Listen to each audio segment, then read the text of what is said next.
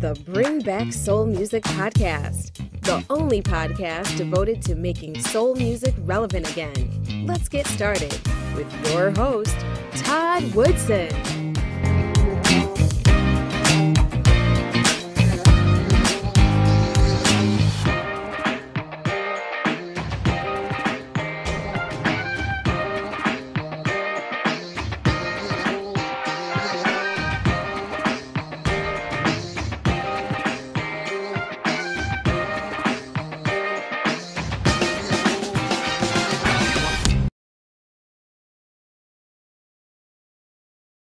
Thank you for joining me for another episode of the Bring Back Soul Music Podcast. My special, special guest today is a talented singer songwriter out of Chicago, Illinois. His name is Barry Fontenot. Mr. Fontenot, how you doing today, sir? Doing well, doing well. How about yourself? I'm fantastic, man. Uh, welcome to the Bring Back Soul Music Podcast. Thanks for having me. Um, you have a uh, new single out called Rose, which, by the way, it's um, we're going to talk about that, but I, I just love it. Thank you very um, much. And then you also have an album coming out, I believe, on this month on the October 19th. I do, yeah, The Great Extreme. Okay. It's our first uh, full length album, so it's going to be a lot of fun. Okay. And um, well, we'll get into all that. Uh, but before we do, um, tell us about Barry uh, Fontenot. Uh, well, uh, I suppose I'm. So I was born in uh, Baton Rouge, Louisiana. Uh, family's from Opelousas, Louisiana. Been there for a hot second, but they're kind of a, you know. So I was raised by country folk in the city. It was a cool, a cool experience. I think I got a kind of a blend of the two, the two vibes. But ultimately, uh, I wound up moving to Arkansas in my early school years. Stayed there for about ten years, except for one year when I went to military school in Missouri and then, sorry, I kind of went all over the place school wise, kind of ran the gamut there.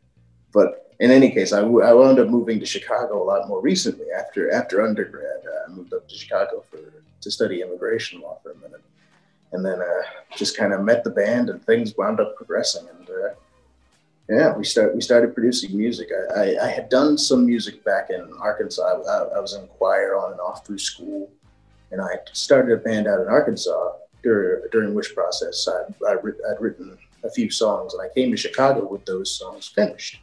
But I didn't I didn't know anyone. I didn't have a band or anything. And just I kind of I don't know. I did open mics throughout the city until just kind of through serendipity, I met all the people in the band with one notable exception, that being Amir Khay Nir, who's the keyboardist, and he uh, I met him through Craigslist. so just complete completely random. The quantum fates brought the bands together, and I basically just got lucky at every step of the way. Okay. Um, now we, I guess we should mention that the band is called Barry and the Fountains. That's correct. Yes, a name I swear to God I did not choose. I'm going to ask you about that later too, but I'm, I'm going to get into that later. Um, but getting back to your um, your childhood, um, did you come from a musical family? In a way, so I came from a from uh, an, a non-musical branch of a family that has some musical people in it. I don't know if you're familiar with the the sort of Louisiana-based style of uh, kind of swamp blues called Zydeco. Well, my cousin, my cousin Clifton Chenier was kind of one of the big names in Zydeco, and my and Clifton Jr. is kind of a he's another Zydeco sort of superstar, and I'm related to those guys. But my musical development kind of was a, was an independent phenomenon to the extent that I don't know that uh, CJ Chenier and I have met during my whole adult life, but he's a, he's a, you know he's in Berwyn every once in a while. I think we'll, we'll probably play a show together one of these days, and that'll be when we actually meet as adult men. But yeah, so I am to some extent from a musical family, but I'm uh, from a non-musical branch. Okay. The reason I ask is because when I listen to uh, your music, um, and it's funny that you mentioned uh, Zydeco out of, uh, Louisiana because your music is um, sort of reminiscent of that, but also some of the um, some of the music from the like the seventies. Um, it's a very um, very rich uh, sound Um, and so that's why I asked about your upbringing because you don't hear that uh, type of music or style of music often. Um, so that's why I mentioned that. But absolutely, yeah, I think it's like it, the the style of music we were going for in the Great Extreme and Kleo and Rose in particular was very. Uh, it was it, so. It was retro in the sense that it was like I think I think I wear my influences on my sleeve. Like you can kind of see like the, there's a lot of Otis Redding, a lot of Sam Cooke, a lot of the a lot of the deep soul kind of Muscle Shoals crowd, some Chess records, some pretty clear Motown influences and stuff like Kleo, and uh, I think a lot I think a lot of it, uh, you know, the, the old soul influence. I, I, that like the Great Extreme was about kind of sending up those influences to some extent, and obviously, while I don't think I didn't want us to be too close to any particular model because I did want it to be kind of expressive of the broader range of what I, of the things that influenced me in moving in my move towards creative towards creative work. But I didn't want it to be anything like I didn't just want to bite somebody's style. I wanted to do something that uh, that paid respect to the kind of people who on whose musical shoulders I'm standing without being something that was a clear extension of their work, which is why the Great Extreme is so retro in its in its style. Okay, have you? Because uh, you mentioned before that um, you have belonged to a couple other bands. Did you always do that style of music? Well, initially I did classical music. I was a, I was a choir boy, so I did a lot of that sort of stuff. And then uh, after my first year of undergrad, I'd kind of left Centenary College uh, under a cloud. I, I wasn't the best student in undergrad. you know, I'll be be candid about that. But uh, while I had paid very close attention to music, I hadn't paid very close attention to any of the other aspects of being in college at the time. So uh, I did a, I did, so I focused a lot on classical music then. And then uh, when I moved to Arkansas again, when I went back to the University of Arkansas, I did, uh, or at a, at community college in the area, I did um, Jesus Christ Superstar, the musical. And that was like the first time I'd done sort of lead rock vocals in a performance setting. So I was like, wow, this is kind of a cool thing. And one of the people who was in the band for that school band, uh, Matthew Mazzoni, he's a great guitarist uh, based out of Louisville, if anybody knows him in the audience. But uh, I worked with him and formed my first band, uh, Barry and the Hurricanes. And we did a lot of, uh, like, we were, we were pretty much a Motown cover band back then. So we did, like, that was what, that was the basis of the format, like the Barry and the it was supposed to be like an homage to Smokey Robinson and the Miracles and that sort of stuff. But then as uh, as we developed, I started uh, I started writing my own stuff. Uh, when I was in 2013, I think was when I wrote my first song. It was called uh, Desiree. It's on the album. But I um, I was drunk and bleeding at the time, and uh, I had kind of uh, I was meant to be learning Spanish uh, the Spanish teachers and I, everybody was relatively young. It was an immersion course, so we were doing our, our late se- our late session class, and we all went to we all went to a bar, and we were supposed to talk in Spanish, and that would be the basis on which we would call it a lesson. So, so we went to the bar. We we got well, pretty, pretty fairly fair, like we, we were pretty drunk by the time by the end of it, and I was wandering home, and uh, I knocked a bottle of cologne off the shelf this is this is all building to something, I promise. Knocked a bottle of cologne off of the shelf.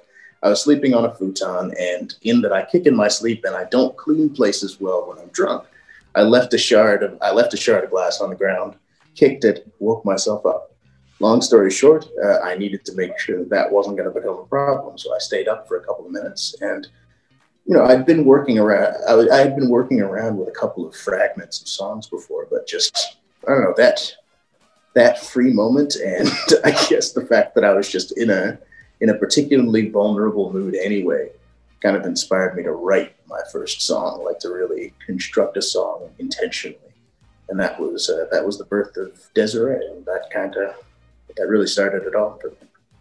Okay, and you said that is on the upcoming album. It is, yeah. That's going to be a, that's on the uh, on the Great Extreme. Okay, um, and then you said from there you moved to Chicago. I came up to Chicago, yeah, here in around 20, 2016, 2017, I think. Yeah. why um, why Chicago versus New York, L.A., or someplace else? Uh, I got a full ride here. Okay. I was like, let's go, let's go where I don't have to pay any money to go to law school. So I came up to Chicago and happens to fall in love with the place. Okay. And it's just, I don't know, there's something about it. I, have really grown attached. Okay. And uh, you said law school. What law school did you uh, did you go to? Chicago Kent. Okay. Got it. And up there, studied immigration law. Oh, wow. Okay. Um, it was it was a relevant subject. um, okay, so tell us a little bit more about how you and the uh, the fountains got together. So we went to. We, I, I initially. So the, there are a lot of independent venues around Chicago that were that put on sort of open mics that that uh, really did a lot for to kind of foster the musical community in town. Uh, one of them was Gallery Cabaret. And uh, that was where I met a lot of the members of the group, like Jake Cavalier, who plays guitar. I met uh, Julian Daniel through somebody who I knew at the Gallery Cabaret. I met, uh, I think the only current member, I met Dylan Harris, who plays bass on the, who plays bass on the record. Uh, he's out in Wisconsin right now, but he's, you know, he's still part of part of the group in spirit, of course. And uh, I met Amir through, as I said, I met Amir, Amir through Craigslist, but it was kind of all just essentially I like there I didn't know anybody in Chicago and I didn't have the the the good sense to to feel nervous about going out and and just being vulnerable in that way, just kind of going going out and putting it out there. And I just kind of I don't know, I kept playing and people like for some reason that seems to resonate with with a couple uh, kindred spirits, and we, know, we, we came together, and I think we we managed to produce something pretty pretty dang good considering we did it all ourselves. Yeah, I mean, I'm I was uh, was pretty impressed, really. Uh, like I said, because you don't hear that that style of music um, too often. Um, getting, let's get back to uh, Rose, and let, let me ask you: Is this this upcoming album? Is this your this your debut album? This is yeah. This is the first uh, the first album I've produced. Uh, like we've got I've I've done a couple of uh, recording sessions with various groups that I've worked with before, but this is my first full length album. Uh, this is definitely this is the, our first outing as Barry and the Fountains. This is a a lot of firsts kind of all at once here. all right, I got to ask you before we start talking about the music, the name. Um, I said your sound is kind of but the name is kind of a throwback to Barry and the Fountains. Uh, oh yeah, it's it's a direct sort. So we were talking initially about we wanted to we wanted it to be a send up to sort of Motown things. We we knew it had to be Barry and the something, uh, but, but we needed the right noun and we just couldn't think of any. So ultimately, Amir Amir pointed out that my name means fountain in French. So, so we were like, let's just call it Barry and the Fountains and I, I of course objected pretty strongly initially, but the fact that like uh, the name sort of grew on me over time, just as it became the brand. But it definitely took a, it took a little bit of getting used to for sure. Okay. Um, okay, so let's let's talk about Rose. Um, did you guys you guys all wrote that yourselves? You didn't work with any other uh, so, producers of any kind, or did you produce it yourselves, or? That was one. So Rose and generally the great the Great Extreme was an album that was comprised primarily of songs that I had written before I came to town, and I'd written them strictly in the context of being like an acoustic singer songwriter. But when I got here, I just met like the people like the people I met just uh, they vibed so so perfectly with the song that like they they all did a great deal of work arranging their own parts, and we kind of collaboratively created this new this new interpretation of the sound. But yeah, Rose was uh, Rose was initially kind of an acoustic reggae ballad, and there are still recordings of that version. I may release some later on as singles, but uh, this this is the this is the version that is the culmination of our collaborative effort for sure. Okay, and um, quickly, how many how many members are in the band? In the band. We have kind of a rotating cast sometimes. I think we have. Uh, so our main, our, our core is around five people. It's it's me, uh, Julian Daniel, who plays drums, uh, Morris Human, who plays bass, uh, Jake Cavalier on guitar, Amir Khay Nir uh, plays keys, and he's the producer of the album as well. And uh, we've had we've had a couple of other group we've had a couple of other members. As I say, Dylan Harris uh, plays bass for us, or played bass for us on the album. We had David Allen Thrift come in and play some uh, play some guitar with us. So we have a we have a rotating cast. Sometimes we have uh, sometimes we have horns. Sometimes we don't. it's kind of a it's it kind of depends on the nature of the show and just the the vicissitudes of the the Chicago music scene. So one never one never knows exactly how. It's difficult to coordinate the schedules of quite so many people all at once.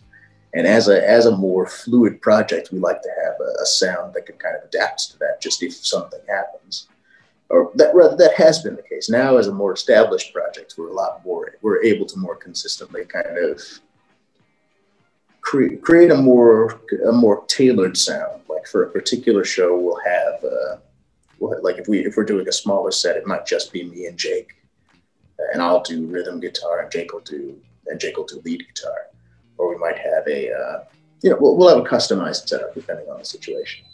Okay, but I think broad, broadly we're a full band plus. Gotcha. Um, so Rose, tell us uh tell us about that that particular song.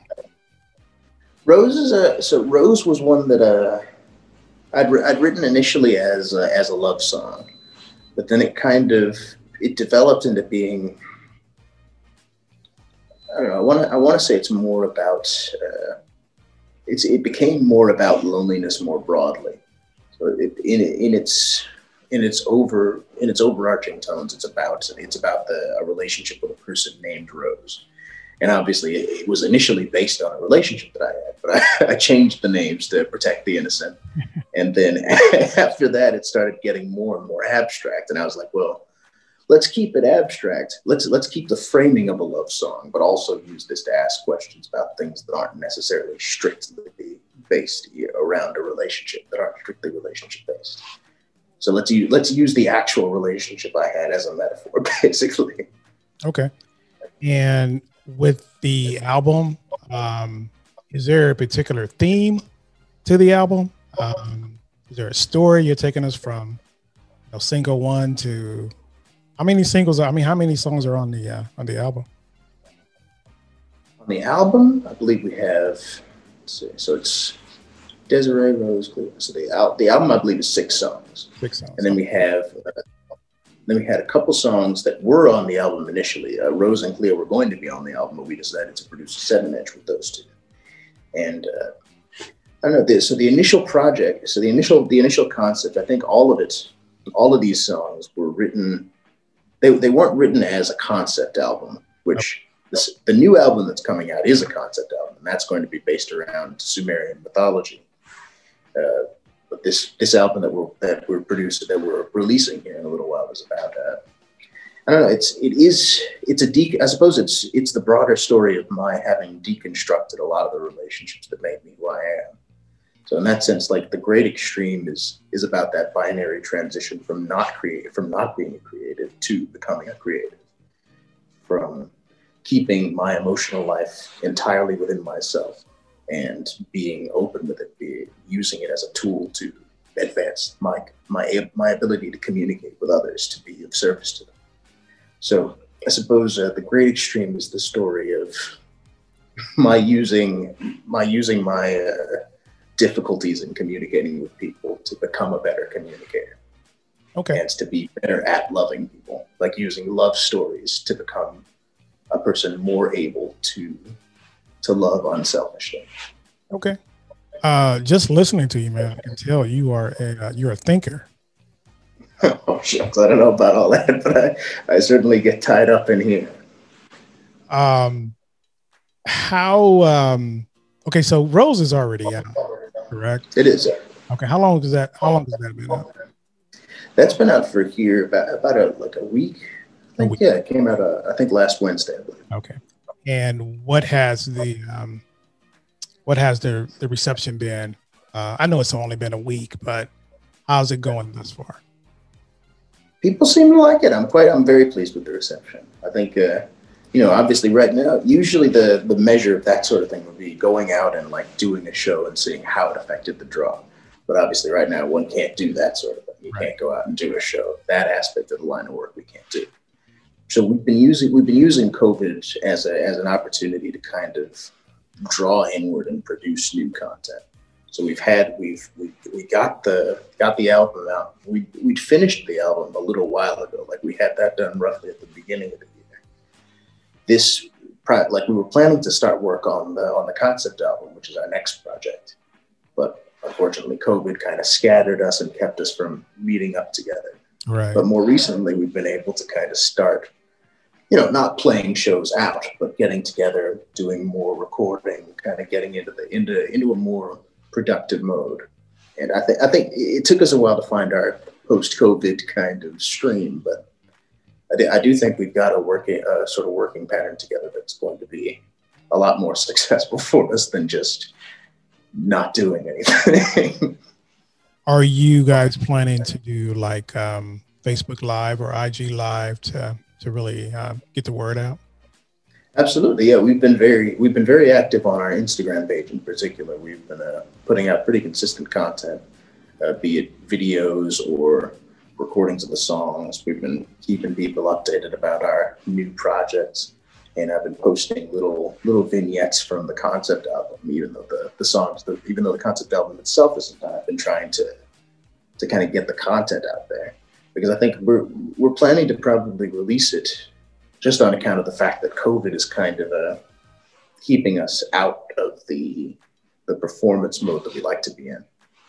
We're planning to use that. Uh, planning to, to, to release the songs uh, sequentially again.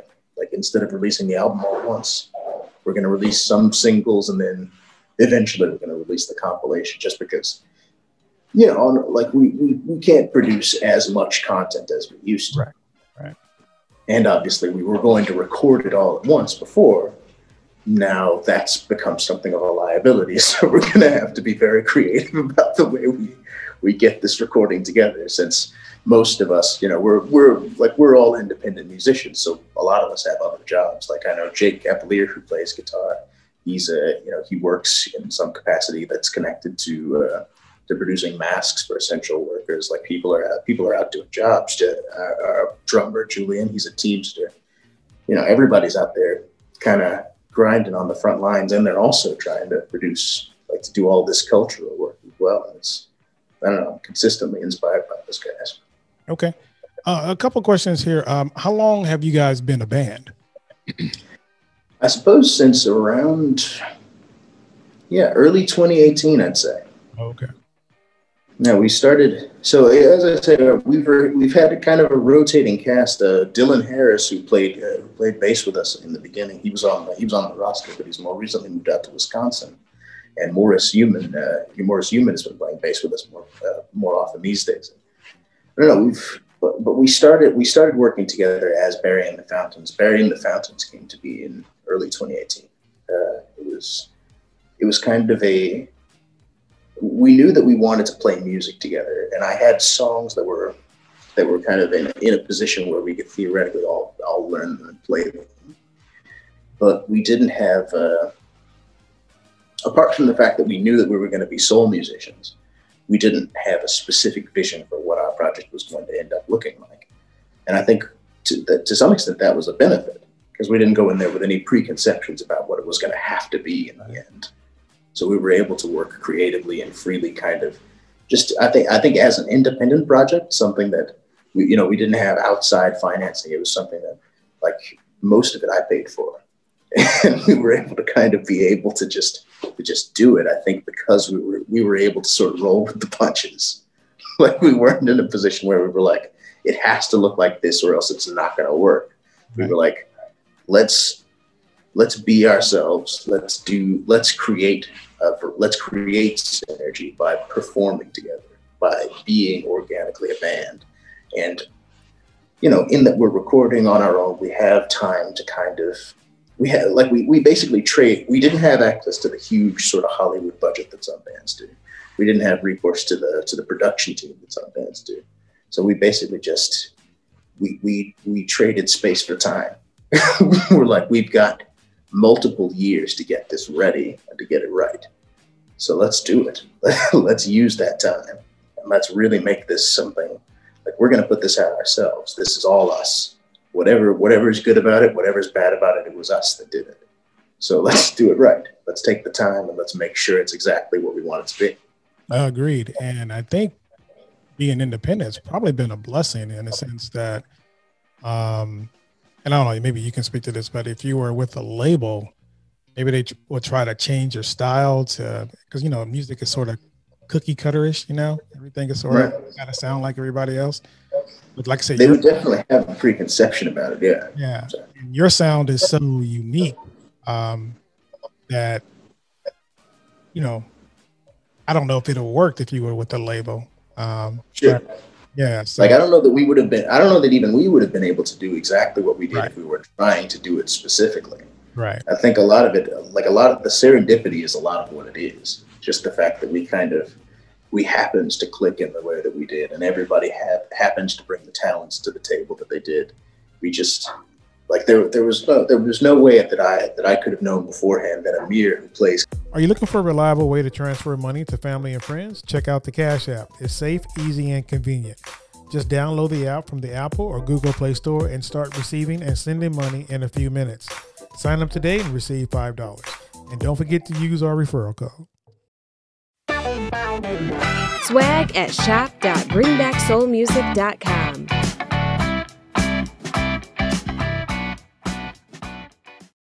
keyboard. I was like, I'd intro, I'd introduced myself to him over Craigslist, and we met like in one of the piano rooms at a at the Harold Washington Library. like there was no way I could know that he was a music producer, or that we that like the collaboration we would develop would create this that would help to create this project and catalyze something that uh, I don't know I don't know that, that we were. I think we're all very proud of having been a part of it. Okay, where um, speaking of the music, where can uh, where can people pick up your your music? Oh, you can find us on all the platforms: uh, Apple Music, Spotify. I think we're we're on SoundCloud as well and Bandcamp. Okay. But yeah, we're. All right, and also mention that you also have a YouTube channel as well. We do. Uh, go out there and uh, check out some of the, some of the stuff you have on. You have a few singles on your on your. On your we do. We've been trying to. Yeah, that was actually where we put our first kind of our if you want to see what we looked like at our very beginnings, there's a YouTube video of us doing uh, doing the song "It Ain't So Easy" in Dylan, our old bass, like the old bassist's uh, basement. He's filming it on his phone. He's got his sort of his glasses. He's got a big smile on his face. Everybody's very uh, very excited to be down there doing stuff. And of course, our first our first saxophonist, Rochelle uh, she's another teamster, so she she's been working for uh, UPS more recently, and obviously the hours have gotten worse. So we've all, as I say, everybody everybody's working working other jobs, and we're all kind of struggling in this new economy. That's you know, it's it's not really making a space for independent artists in the way that perhaps a more ethical society would. But you know, we're we're making do. Right. Well, you guys are grinding, man, and uh, like I said, um, I think with good music, people will find good music. Um, you guys are doing the Lord's work in that respect. uh, why don't you uh, Why don't you plug some of your social media uh, connections? Absolutely, we're we're uh, at Barry and the Fountains on uh, on Instagram, on Facebook, the whole the whole shebang. Okay. Um, another question here: What do you hope? Um, what do you hope people get out of your music? How should people would how How do you want people to be, remember Barry and the Fountains? So I suppose the so for the great I think with, so with the great extreme we were trying to do something uh, in in writing it I was trying to deconstruct uh, a lot of the emotional emotional uh, things that had happened to me over the course of my life that made a really big impact on me. Like big big bad relationships basically. And the thing that I took from them that I think was constructive was the idea that if you if you process these things, if you take the relationship itself for what it is, and don't take that aspect of it too personally, then the emotional aspects of the relationship can still be very useful to you in terms of determining like what you need to do to grow as a person. So, like in a relate, my first relate big relationship was with the person who Desiree, the song Desiree is about. Her name is not Desiree in real life, but that relationship I feel had a really big impact on me, and it wasn't the sort of like I hate her now sort of impact. It was like the it was the kind of impact where I was like, wow, I felt a certain way about this person. Why did I feel that way? How have those feelings influenced me? Did I let it go? When did I let it go? How and why? And I think that's what the song explores, and I think that's what the Great Extreme is trying to explore. And in our new album, the the Psalms for the Psalms for the Diluvian era, which is about Sumerian mythology, is that concept album we're working on. That I think is a more forward-facing kind of album, and it's it's broadly so it does the, the the new album will have a message, but it'll be kind of a more a more contemporary message. It's it's more I suppose you could say it's more of a story about the present uh, that uses the past to, to, to, tell that story. Okay. So in there. Yeah. All right. And so I just want to one quick question about Desiree. Um, do you find or did you find that for whatever reasons they didn't work out, did you you find yourself being appreciative of having gone through that experience? Because that's what I kind of hear you saying when you talk about the writing of that song. Yeah, definitely. Okay. I think absolutely. Yeah, it was a huge. Like I think, like I, I, I am friends with the person now in in, in the modern context, but then uh, at the same time, I think even the like even the aspects of it that were uncomfortable at the time, like the bits where I had to deal with my own immaturity and kind of question why why it was that I needed from someone something that they couldn't give me. like what exact and what exactly that meant for me, what it meant about me, what it meant about them. And I think the growth itself is something you can take from the relationship.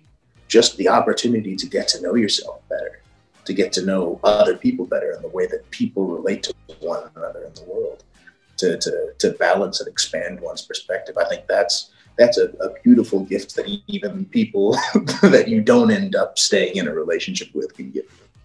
Oh, I I completely agree. Um, well, Barry, I appreciate you coming on the show. Anything else you want to add before before we turn it loose today? I mean, I know it's late in Chicago, but anything else? Oh yeah, absolutely. I just want to, yeah, I just want to say that here here out in Chicago, like we've got a, I don't know, we have a lot of great music venues, and COVID has been hurting them terribly. Uh, at North Bar, I want to give a shout out to Gallery Cabaret. I want to give a shout out to just all the big venues that really were there for us kind of in the beginning. Chicago has an amazing independent music scene. And in the wake of COVID, it's going to be changed. It's going to be a fundamentally different thing than it was before. But that doesn't mean it has to be worse. It's, it's going to be different. And I think we can kind of come together to create something really positive if we if we take the attitude that we're going to save our stages and make them an equitable place for musicians to perform and for Chicago's for the culture of Chicago to develop. And I think that model can be useful. Like I think we can draw on the models of other cities, and other cities can draw on our model. I think that the kind of use of of urban spaces as real cultural incubators is uh, is an incredibly useful thing. And I think musicians and, and creative workers in general tends to kind of downplay their own importance to changing society and freeing it from its fear of freedom. But I think it's an incredibly important part. I mean, music freed me from my fear of freedom. And I didn't even know I had it. Right. So it's quite a feat. Yeah, I mean, I I hope that um, that um, whatever change, what there's definitely going to be change. You just mentioned that it's um, I can't see how it cannot be. Um, but hopefully, it makes us better, you know, society wise as well. Um, but Mr. Barry Fontenot, I appreciate you taking the time today, sir.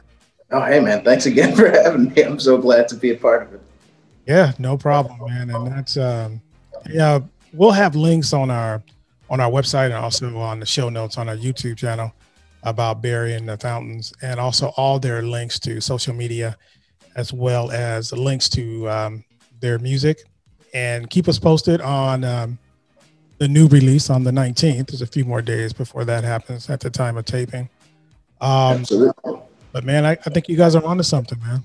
I do. Thank you very much. Hey, let's let's you and me both try and bring back soul music, right? Most definitely. now, now you're speaking my language. All right. That's Barry Fontenot on the Bring Back Soul Music podcast, and we'll be right back. Thank you so much for having me. All right. Thank you, sir. Calling all lovers of soul music. The time to make soul music relevant again is now. You've been listening to the Bring Back Soul Music podcast with Todd Woodson. If you enjoyed today's show, be sure to tell a friend. Make sure you never miss an episode by subscribing to our newsletter at bringbacksoulmusic.com. Well, that's our show for today. I'd like to thank my special guest, Mr. Barry Fontenot. You can find out more about Barry on our website at bringbacksoulmusic.com. Don't forget to check out their new single called Rose, as well as check out their new album coming out October 19th, 2020, called The Great Extreme. Don't forget, you can listen to the Bring Back Soul Music Podcast on iTunes, Google Podcast, Stitcher, and Spotify. Don't forget to subscribe to our YouTube channel at Bring Back Soul Music TV. If you have any questions or comments, please email us at comments at bringbacksoulmusic.com. I'm Todd Woodson. Thank you for joining us. See you next week.